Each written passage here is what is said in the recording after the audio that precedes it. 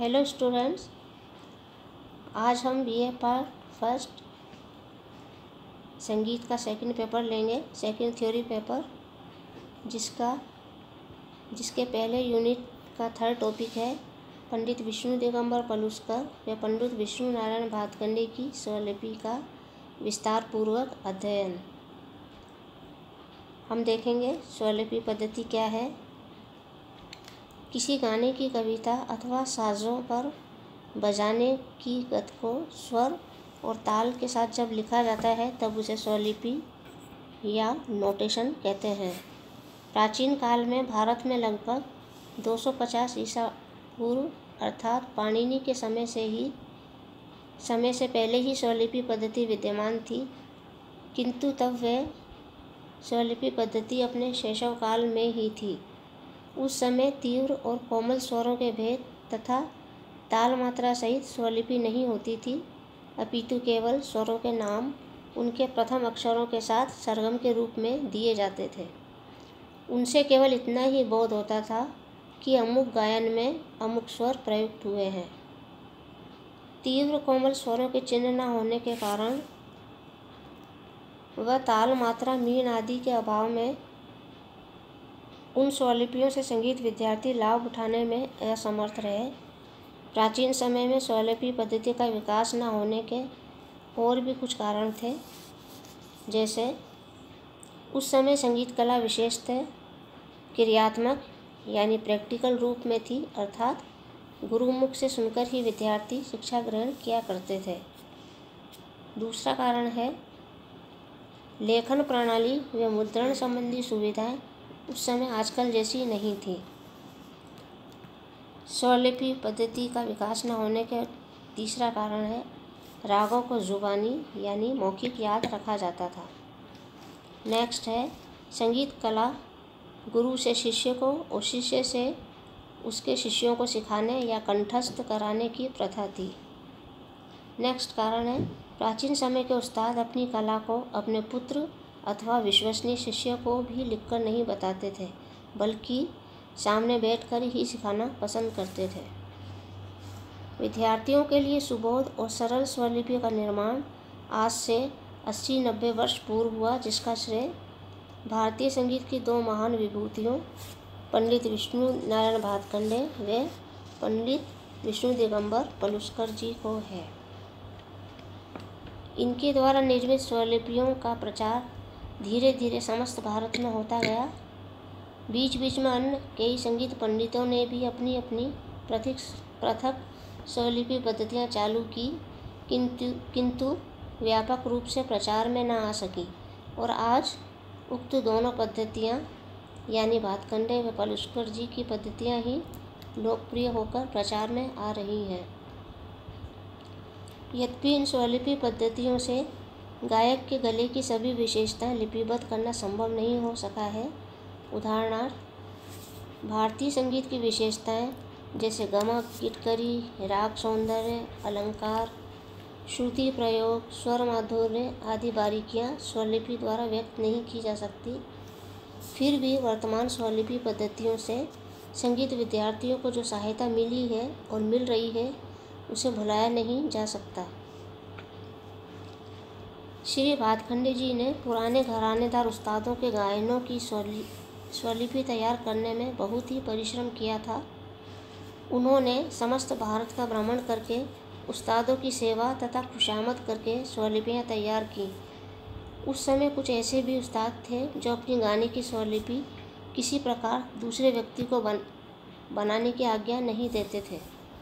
श्री भातखंडे जी ने बड़ी युक्ति और कौशल से पर्दों के पीछे छिप छिप कर उनका गायन सुना और स्वरलिपियाँ तैयार की तथा बहुत सी स्वरलिपियाँ ग्रामोफोन रिकॉर्डों द्वारा भी तैयार की।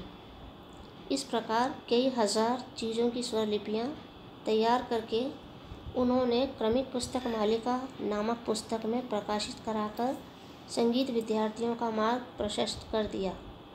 इसी प्रकार पंडित विष्णु दिगंबर पलुस्कर ने भी कई पुस्तकें तैयार की। पलुस्कर जी की स्वलिपि पद्धति, जो प्रारंभ में उनके द्वारा चालू हुई थी, अब उसमें कुछ परिवर्तन आ गए हैं। यही कारण है कि विष्णु दिगंबर जी की प्रारंभिक मूल पुस्तकों में तथा आज उनके विद्यालयों में चलने वाली राग विज्ञान आदि पुस्तकों के चिन्हों में काफ़ी अंतर पाया जाता है। तथापि, वर्तमान स्वलिपि पद्धति उनकी प्राचीन पद्धति से अधिक सुविधाजनक है। पलुस्कर जी की परिमार्जित स्वलिपि पद्धति जो आजकल प्रचार में आ रही है, वो इस प्रकार है। अब हम देखेंगे विद्यार्थियों, विष्णु दिगंबर पद्धति के स्वलिपि चिन्ह। ये आप देख रहे हैं। जिन स्वरों के ऊपर नीचे कोई चिन्ह नहीं होता, वे मध्य सप्तक के शुद्ध स्वर समझे जाते हैं। जैसे रे, ग, मा, प, जिनमें ऊपर और नीचे कोई भी चिन्ह नहीं है। दूसरा है, जिन स्वरों के नीचे हलंत का निशान होता है, उन्हें कोमल या विकृत स्वर मानते हैं। जैसे, री ग धनी आप देख रहे हैं, नीचे हलंत का चिन्ह है। तीसरा है, तीव्र या विकृत मध्यम को उल्टे हलंत द्वारा इस प्रकार दिखाते हैं। म के नीचे उल, उल्टा हलंत है। ऊपर बिंदी वाले स्वर मंद्र सप्तक के स्वर कहे माने जाते हैं। जैसे पधनी जिसके ऊपर बिंदियाँ लगी हुई हैं। जिन स्वरों के ऊपर खड़ी लकीर होती है वे तार सप्तक के स्वर होते हैं। जैसे सारे गामा इन स्वरों के ऊपर आप देख रहे हैं, खड़ी लकीर है। अब हम देखेंगे स्वर पर मात्राओं के लिए किस प्रकार चिन्ह रखे गए हैं। क्रॉस का चिन्ह चार मात्रा के लिए। सा से नी, सा के नीचे आप क्रॉस का चिन्ह देख रहे हैं। ये उल्टा एस का चिन्ह जो है, दो मात्रा के लिए प्रयुक्त होता है। डैश का, डैश एक मात्रा के लिए, ज़ीरो आधी मात्रा के लिए। अर्धचंद्र, चंद्राकार चिन्ह जो है, वन बाई फोर्थ मात्रा के लिए, और ये डबल अर्ध चंद्राकार चिन्ह, वन बाई एट मात्रा के लिए आप इंडेक्स में देख रहे हैं। उच्चारण के लिए अवग्रह चिन्ह एस का प्रयोग करते हैं, और गीत के अक्षरों के लिए, अक्षरों के ठहराव को लंबा करने के लिए बिंदु का प्रयोग किया जाता है, जैसे ग डैश ग एस एस प और नेक्स्ट है, स्वरों के नीचे वन अपॉन थ्री या वन अपॉन सिक्स इत्यादि लिखा हो तो वहाँ एक मात्रा में तीन या छः स्वर बोले जाते हैं। नेक्स्ट है, किसी स्वर के ऊपर कोई दूसरा स्वर लिखा हो तो कर्ण स्वर, यानी ग्रेस नोट के रूप में प्रयुक्त करते हैं। ताल के सम के लिए एक चिन्ह लगाते हैं। खाली के लिए प्लस का चिन्ह प्रयोग होता है तथा अन्य तालियों के लिए क्रमशः उन गिनतियों का प्रयोग करते हैं जिन गिनतियों पर ताली लगा ताल लगानी होती है। ये थे विष्णु दिगंबर पद्धति स्वलिपि के चिन्ह। अब हम देखेंगे बातखंडे स्व पद्धति के स्वलिपि चिन्ह। शुद्ध स्वरों के लिए क्या चिन्ह है?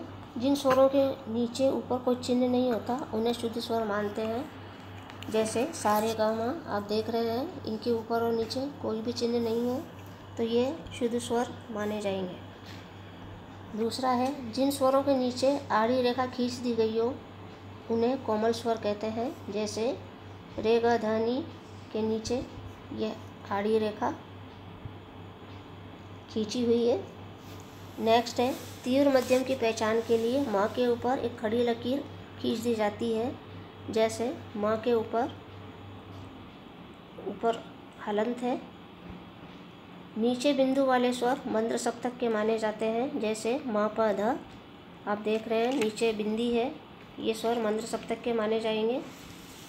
ऊपर बिंदी वाले स्वर तार सप्तक के माने जाते हैं। जैसे ग रेसा जिनके ऊपर बिंदी है, ये तार सप्तक के स्वर हैं। बिना बिंदी वाले स्वर मध्य सप्तक के समझने चाहिए। जैसे पामा गा जिनके ऊपर और नीचे कोई भी बिंदी नहीं है, ये स्वर मध्य सप्तक के हैं। गाने के जिस शब्द के आगे जितने अवग्रह यानी एस होंगे, उस शब्द को उतनी ही मात्रा बढ़ाकर गाते हैं। जैसे श्याम के बीच में दो अवग्रह हैं तो हम इसे दो अवग्रह बढ़ाकर गाएँगे। जिस स्वर के आगे जितनी पड़ी लकीरें हों, उस स्वर को उतनी मात्रा बढ़ाकर गाते हैं। जैसे, ग के आगे तीन डैश है तो हम उसे तीन मात्रा बढ़ाकर गाएँगे। कई स्वरों को एक मात्रा में गाना बजाने के लिए अर्धचंद्राकार इस चिन्ह का प्रयोग होता है। जैसे पामा गा, इनको हम एक मात्रा में गाने के लिए चंद्राकार, अर्धचंद्राकार चिन्ह का प्रयोग करेंगे, अथवा रेगा माप को एक मात्रा में गाने के लिए इस प्रकार के चिन्ह का प्रयोग करेंगे, जो आप देख रहे हैं इंडेक्स में। स्वर के ऊपर ये अर्धचंद्राकार इस प्रकार के चिन्ह को मीड़ कहते हैं, जैसे, माँ पा धानी, माँ से नी तक इसमें मीड़ है। अर्थात, यहाँ पर मध्यम से निषाद तक मीड़ ली जाएगी, यानी माँ से नी तक स्वरों को बिना तोड़े तोड़े हुए गाना है। नेक्स्ट है, किसी स्वर के ऊपर कोई स्वर दिया हो तो उसे कर्ण स्वर समझना चाहिए। जैसे प के ऊपर ग लिखा हुआ है, अर्थात ग को जरा, ज़रा छूते हुए प स्वर को गाना या बजाना है। नेक्स्ट है, जो स्वर कोष्टक में बंद हो, उसे इस प्रकार गाना चाहिए। पहले उसके बाद का स्वर, फिर वह स्वर जो कोष्टक में बंद है। फिर उसके पहले का स्वर तथा फिर वही कोष्टक वाला स्वर अर्थात एक मात्रा में चार स्वर गाए जाएँगे। जैसे प को इस प्रकार कोष्टक में लिखेंगे हम, जिसे गाने के लिए हम ध प, म प इस प्रकार हम गाएँगे। ताल में सम दिखाने के लिए क्रॉस का चिन्ह होता है। खाली के लिए शून्य के चिन्ह का प्रयोग होता है। सम को पहली मात, पहली ताली मानकर अन्य तालियों के लिए क्रम से दो, तीन, चार आदि संख्याएँ लगाते हैं। वाद्य में स्वर को आंदोलित करने की क्रिया जमजमा कहलाती है। नीचे दो बिंदी वाले स्वर अति मंद्र सप्तक के होते हैं, जैसे ग, सा, मा के नीचे दोनों बिंदियाँ ये अति मंद्र सप्तक के स्वर हैं। ऊपर दो बिंदी वाले स्वर अति तार सप्तक के होते हैं, जैसे सा, मा, प के ऊपर दो दो बिंदियाँ हैं, ये अति तार सप्तक के माने जाएँगे। जहाँ फूल का चिन्ह हो, वहाँ एक मात्रा चुप रही है। जहाँ कोमा का निशान हो, वहाँ एक मात्रा ठहरिए तो ये थे विद्यार्थियों, पंडित विष्णु दिगंबर या पंडित भातखंडे जी स्वलिपि पद्धतियों के चिन्ह।